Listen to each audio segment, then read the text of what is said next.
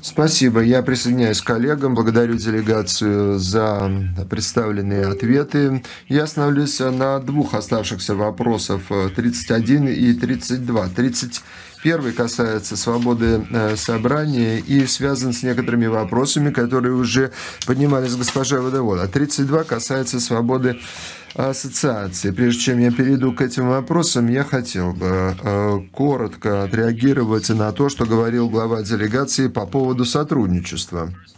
Во-первых, мне хотелось бы выразить удовлетворенность по поводу интереса, который э, проявляет государство-участник относительно продолжения диалога с комитетом.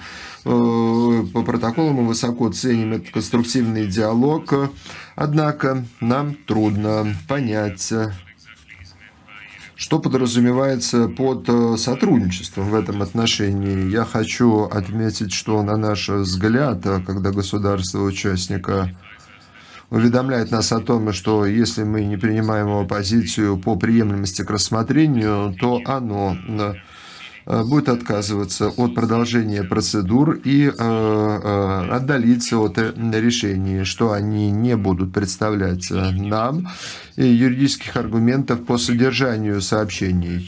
Мы рассматриваем это как отказ от сотрудничества, это наша позиция. Также хочу отметить, что последние два года мы видели примеры, когда государство-участник просто не отвечало на наше э, предложение представить информацию в комитет.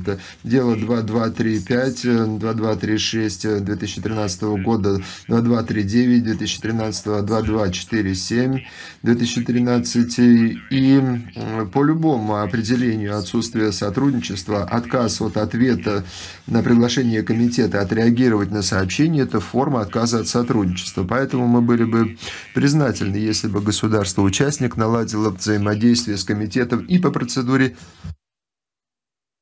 и по этим конкретным сообщениям. Теперь я хочу перейти к вопросу номер 31. Госпожа Водоваль уже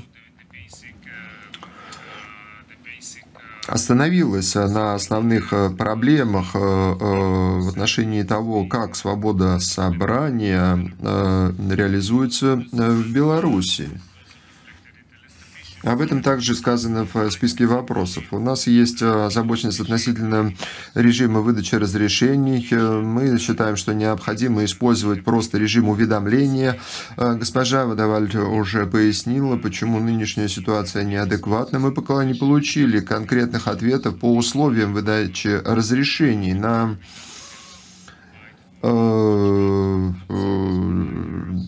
то, что говорилось относительно заключения соглашений со службами очистки, со службами безопасности в качестве и так далее, в качестве, э, в случае организации массовых мероприятий.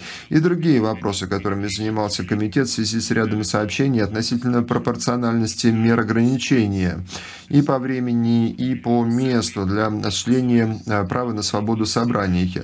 Но также я хочу остановиться на ответах, которые представило государство-участник рынок относительно а, отступления от условий разреш... выдачи разрешений. Одно дело – это использование режима а, разрешений, его имплементация, и с другой стороны встает вопрос о том, какие меры являются пропорциональным ответом на, на отступление от э, режима выдачи разрешений э, или проведение пикета, не э, направляя запросы на выдачу разрешения. Мы уже выражали обеспокоенность в конкретных случаях ранее в связи с тем, является ли применение полиции для преднамеренного рассеяния демонстрантов, применение уголовного законодательства в отношении демонстрантов и применение административного законодательства в отношении участия в демонстрациях случаях, в конкретных случаях, эм, которые были доведены до нашего сведения.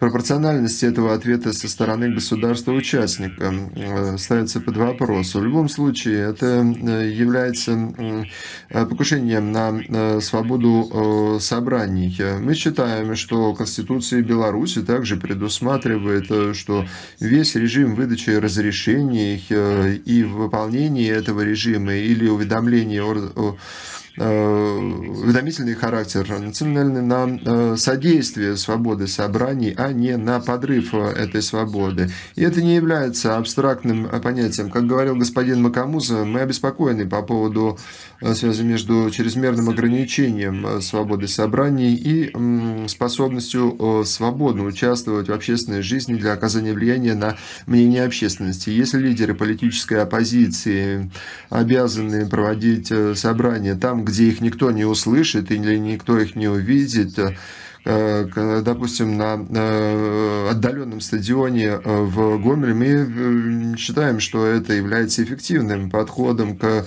реализации права на свободу собрания и также не помогает политическому участию.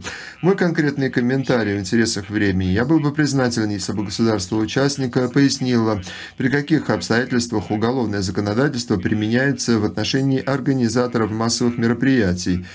И были ли э, случаи в последние годы, когда э, уголовное законодательство применялось в их отношении? При каких обстоятельствах требуется от организаторов массовых мероприятий подписание вышеупомянутых контрактов, которые предусматривают предоставление специальных услуг? Э, мы, конечно, обеспокоены по поводу запретительных расходов, на которые вынуждены будут пойти организаторы для получение э, разрешений на проведение этих мероприятий. И с обеих сторон этой ситуации нам не совсем понятно, почему э, пикет э, части одного человека требуется выдача разрешения. Если мы правильно понимаем, э, более тысячи человек фактически не могут, э, не имеют права собираться согласно действующему законодательству. Если я что-то неправильно понял, говорит оратор, поправьте меня, пожалуйста. Госпожа Водоваль также говорила о вопросе по поводу спонтанных мероприятий, по этому поводу хотелось получить пояснение. Перехожу к конкретным инцидентам. Мы получили информацию от Международной амнистии, Amnesty International, по поводу э, дела господина Дмитрия Поленко, который Международная амнистия рассматривает как узника совести.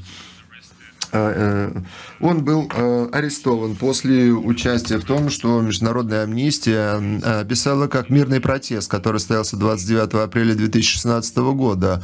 Он протестовал против ограничений в отношении велосипедистов. Можете ли вы пояснить комитету, при каких обстоятельствах он был задержан и также высказывалась озабоченность относительно обращения с ним под арестом. Говорилось о том, что он содержался в одиночной камере. Э, были также проблемы относительно состояния его здоровья. Были бы признательны за пояснение в этом отношении. Далее также существует озабоченность относительно запретов в государстве участники э, в э, организации мероприятий День свободы и День мемориала. Почему эти даты э, были, э, эти мероприятия были э, ограничены. Госпожа Бранскеринс уже затрагивала мартовский процесс 2017 года, а также превентивные задержания и аресты, которые имели место в ходе этих дней. Я не буду повторять уже поставленные вопросы, однако мы получили информацию, которая выражается озабоченность по поводу насилия со стороны э, полицейских при э, разгоне этих мероприятий. Один человек был задержан, э, оказался в условиях предварительного содержания. Предварительное содержание было совершено в его отношении. Ему э, было причинено э, увечье, э, получил ранение в голову. А знает ли об этом государство? Было проведено расследование. Каковы итоги? То есть жестокое обращение стороны полиции. Э, и также поступала информация, предположительно, о том, что в 177 протестующих, которые были приговорены согласно э, Кодексу административных правонарушений. И не все они, из них получили э, доступ к э, адвокатам. И это, безусловно, ставит перед нами вопрос о справедливом разбирательстве. Теперь перехожу к вопросу 32. Это свобода ассоциаций. И здесь я признателен за информацию, которая была представлена. Как представляется, был определенный прогресс в том, что касается регистрации профсоюзов профсоюзных организаций. Но в целом здесь также существует обеспокоенность о том, что сам закон об общественных ассоциациях с его поправкой недостаточно содействует осуществлению права на свободу ассоциации. В нем содержится целый ряд ограничений, в частности, по количеству основателей, использование э, места жительства как место э, регистрации ассоциации, сборы за регистрацию ассоциации также, как представляется, весьма высоки. В этой связи встает вопрос о том, может ли государство э, пояснить, почему такие условия являются необходимыми? Являются ли они пропорциональными для баланса Э, прав государства, обеспечение порядка и транспарентности с одной стороны, но с другой стороны необходимо также соблюдать и право на свободу ассоциации. Мы были поражены, когда мы встречались с представителями гражданского общества, которые присутствуют здесь, и когда мы услышали, что э, э, практически нет юридических ассоциаций, потому что они не соблюдают действующие требования якобы стране, и мы хотели бы узнать, и какие нормативные рамки э, существуют у вас? Почему э, э, организации гражданского общества не могут зарегистрироваться?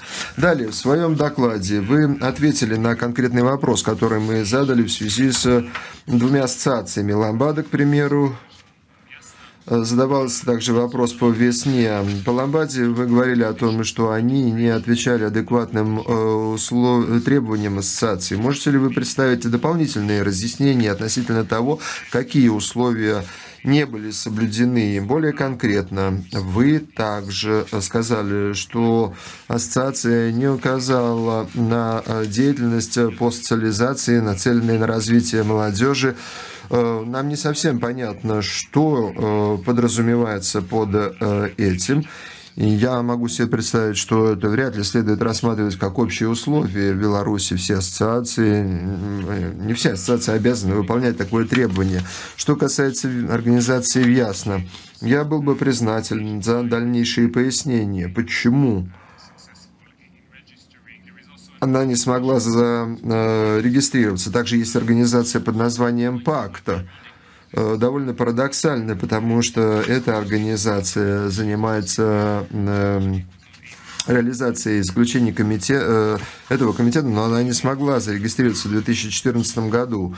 И здесь определенный порочный цикл, э, Э, формируются. Мы, э, как правило, опираемся на гражданское общество, которое мы рассматриваем как э, движитель, содействующий реализации прав человека. Если гражданское общество не имеет возможности закона вести работу по продвижению прав человека, таким образом вы не создаете условий гражданского пространства, в котором